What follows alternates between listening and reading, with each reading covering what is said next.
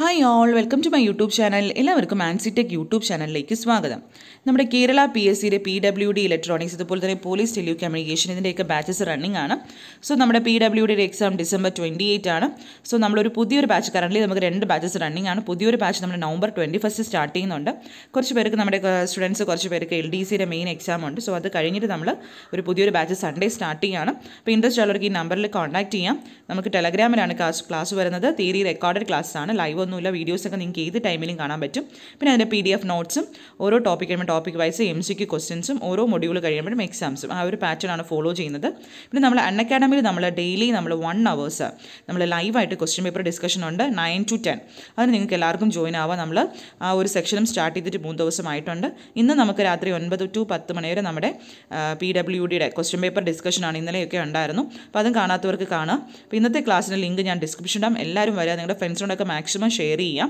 Okay വളരെ നിങ്ങൾക്ക് കിട്ടുന്ന ഒരു ഓപ്പർച്യൂണിറ്റിയാണ് previous year question paper analyse ചെയ്യുക അത് പഠിക്കാൻ നിങ്ങൾക്ക് നിങ്ങൾ എത്രത്തോളം പഠിച്ചിട്ടുണ്ട് നിങ്ങൾക്ക് ഒരു ഇവാലുവേഷൻ നടത്തുക ഒക്കെ അതിനൊക്കെ നിങ്ങൾക്ക് കിട്ടുന്ന ഒരു അവസരമാണ്. അതുകൊണ്ട് എല്ലാവരും ലൈവിൽ വരിക. ഫ്രീ ആയിട്ടുള്ള സെക്ഷനാണ് നിങ്ങളുടെ ഫ്രണ്ട്സിനോടൊക്കെ മാക്സിമം ഇതൊന്ന് ഷെയർ ചെയ്യുകയും വേണം. ഓക്കെ അപ്പോൾ നമ്മളൊരു ക്വസ്റ്റ്യൻ ബാങ്ക് സീരീസ് സ്റ്റാർട്ട് ചെയ്തിട്ടുണ്ടായിരുന്നു. ഇന്ന് നമ്മുടെ നാലാമത്തെ സീരീസാണ്. നമ്മൾ റെക്ടിഫയറിന്റെ കുറച്ച് എം സി ക്യു ആണ് ഡിസ്കസ് ചെയ്യുന്നത്. കുറേ പേർക്ക് കൺഫ്യൂസിംഗ് ആണ്. Half wave rectifier full wave rectifier അതിന്റെ എഫിഷ്യൻസി അങ്ങനത്തെ കുറച്ച് കാര്യങ്ങൾ കൺഫ്യൂസിംഗ് ഫാക്ട്സ് ആണ്. അപ്പോൾ അത് നമുക്ക് ഇന്ന് മാറ്റണം. Okay first question the maximum efficiency of a half wave rectifier ഒരു ഹാഫ് വേവ് റെക്ടിഫയറിന്റെ മാക്സിമം എഫിഷ്യൻസി എത്രയാണ്? ഫോർട്ടി പോയിന്റ് സിക്സ് ആണ്. എപ്പോഴും പഠിക്കുക എപ്പോഴും ചോദിക്കാറുണ്ട്. ഫുൾ വേവ് റെക്ടിഫയറിന്റെ എഫിഷ്യൻസി എന്ന് പറഞ്ഞാൽ eighty one point two half വേവിന്റെ ഫോർട്ടി പോയിന്റ് സിക്സ് അടുത്ത രണ്ടാമത്തെ ക്വസ്റ്റ്യൻ നോക്കാം. Peak inverse voltage of a non conducting diode in a bridge rectifier is peak inverse voltage of non conducting diode in a bridge rectifier എന്ന് പറഞ്ഞാൽ എത്രയായിരിക്കും? It is peak value of A C input ആയിരിക്കും. എന്തെയാണ്? Peak value of A C input okay അപ്പോൾ നമ്മൾ പഠിച്ചിട്ടുണ്ട് maximum voltage എന്താണ് ഒരു peak inverse voltage എന്ന് വെച്ചാൽ മാക്സിമം വോൾട്ടേജ് എക്രോസ് ഒരു റിവേഴ്സ് ബയാസ് ഡയോഡിനോ എക്രോസ് വരുന്ന ഒരു മാക്സിമം വോൾട്ടേജിനെയാണ് നമ്മൾ പീക്ക് ഇൻവേഴ്സ് വോൾട്ടേജ് എന്ന് പറയുന്നത്. ഒരു half wave റെക്ടിഫയറിന്റെ peak inverse voltage V M ആയിരിക്കും. ഫുൾ വേവ് സെന്റർ ടാപ്പ് റെക്ടിഫയറിന്റെ ടു വി എം ആയിരിക്കും.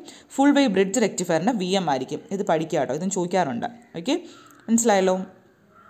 അപ്പോൾ ഞാനൊരു ഒരു ബോക്സ് ആയിട്ട് തന്നിട്ടുണ്ട് ഇമ്പോർട്ടന്റ് ആണ് ഈ ഒരു ബോക്സ് ഓരോ സർക്യൂട്ടും അതിന് എത്ര ഡയോഡ്സ് ഉണ്ട് അതിന്റെ V D C average D C voltage R M S current peak inverse voltage ഇത് മൂന്ന് നിങ്ങൾ പഠിക്കുക. മൂന്ന് സർക്യൂട്ടിന്റെയും ഓരോ വാല്യൂസും പഠിക്കുക.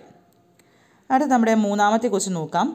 State respect respective ripple factor and efficiency of full wave rectifier ripple ഫാക്ടറും efficiency of full wave rectifier എത്രയാണ്? It is option C ആണ്. ഓപ്ഷൻ എത്രയാണ് ഓപ്ഷൻ പോയിന്റ് ഫോർ എയ്റ്റും എയ്റ്റി വൺ പോയിന്റ് ടു പെർസെന്റേജും ഫോർ ആണ്. അത് നമ്മൾ തന്നിട്ടുണ്ട്.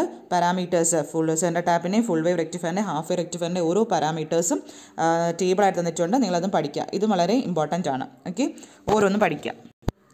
അടുത്ത നാലാമത്തെ ക്വസ്റ്റ്യൻ നോക്കാം. Peak inverse voltage for a full wave rectifier centre tap if E is the peak voltage E ആണ് പീക്ക് വോൾട്ടേജ് എങ്കിൽ കണ്ടുപിടിക്കാം. ഓക്കെ നമ്മൾ ഓൾറെഡി പറഞ്ഞു പീക്ക് ഇൻവേഴ്സ് വോൾട്ടേജ് എന്ന് പറയുമ്പോൾ maximum voltage that appear across a reverse bias diode ആണ്. E ആണ് ഇവിടുത്തെ മാക്സിമം വോൾട്ടേജ് എങ്കിൽ. ഹാഫ് വേവ് റെക്ടിഫയറിന്റെ പീക്ക് ഇൻവേഴ്സ് വോൾട്ടേജ് നമ്മൾ ഓൾറെഡി പറഞ്ഞു ഇ ആണ്. ഫുൾ വേവ് ആണെങ്കിൽ ടു ഇ ആയിരിക്കും അല്ലേ? അപ്പോൾ ഇവിടുത്തെ ആൻസർ ഏതാണ്? നമ്മുടെ ആൻസർ വന്നിട്ട് ഏതായിരിക്കും ഇറ്റ് ഓപ്ഷൻ ഡി ആയിരിക്കും ടു ഇ ഓക്കെ അടുത്ത അഞ്ചാമത്തെ ക്വസ്റ്റ്യൻ നോക്കാം. ഇങ്ങനത്തെ മോഡൽ ക്വസ്റ്റ്യൻസ് ആണ് ഇനി എക്സാംസിനൊക്കെ ചോദിക്കാൻ പോകുന്നത്. അപ്പോൾ അത് നിങ്ങളത് നോക്കി പഠിക്കാം. കൺസിഡർ ദി ഫോളോയിങ് സ്റ്റേറ്റ്മെന്റ് ഈ power supply uses bridge rectifier with a capacitor input filter ഒരു പവർ സപ്ലൈയിൽ ബ്രിഡ്ജ് സർക്യൂട്ട് യൂസ് ചെയ്യുകയാണ് ഒരു കപ്പാസിറ്റർ ഇൻപുട്ട് ഫിൽറ്ററും ഉണ്ട്. ഒരു ഡയോഡ് ഡിഫക്റ്റീവായി അങ്ങനെയാണെങ്കിൽ the D C voltage load voltage will be lower than the expected value ആണോ? Ripple frequency will be lower than the expected value ആണോ? Surge current will increase considerably ആണോ? ഇതിൽ ഏത് സ്റ്റേറ്റ്മെന്റ് ആണ് ശരിയായിട്ടുള്ളതെന്നാണ് ചോദിച്ചിട്ടുള്ളത്? ഏതാണ് ശരിയായിട്ടുള്ളത്? ദിസ് ഓപ്ഷൻ ഡി ആണ്. എല്ലാം ശരിയാണ്. വൺ ടു ത്രീ എല്ലാ സ്റ്റേറ്റ്മെന്റും ശരിയാണ്. ഓക്കെ അടുത്ത നമ്മുടെ ആറാമത്തെ ക്വസ്റ്റ്യൻ നോക്കാം. The input frequency of a bridge rectifier തന്നിട്ടുണ്ട് fifty hertz output output ripple frequency നമുക്ക് കണ്ടുപിടിക്കാനുള്ളത്. ഓക്കെ ഇപ്പോൾ നമ്മുടെ ഇൻപുട്ട് ഫ്രീക്വൻസി തന്നിട്ടുണ്ട് നമുക്ക് output ഫ്രീക്വൻസിയാണ് കണ്ടുപിടിക്കാനുള്ളത്.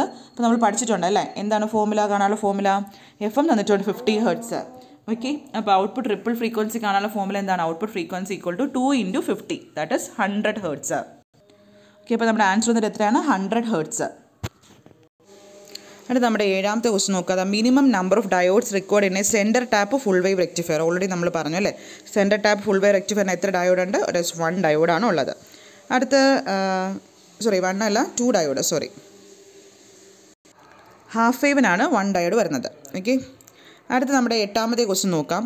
Consider the following statement regarding rectifier circuit rectifier സർക്യൂട്ടിൽ വരുന്ന സ്റ്റേറ്റ്മെന്റ് ആണ് വായിച്ച് നോക്കാം. First one ripple factor for single phase half wave rectifier is one point four one four ripple factor single phase full wave rectifier is zero point four eight two ripple factor of a three phase half wave rectifier is point one two ഇതിൽ ഏത് statement ആണ് ശരിയായിട്ടുള്ളതെന്ന് ചോദിച്ചിട്ടുള്ളത് ഏതാണ് ശരിയായിട്ടുള്ളത്?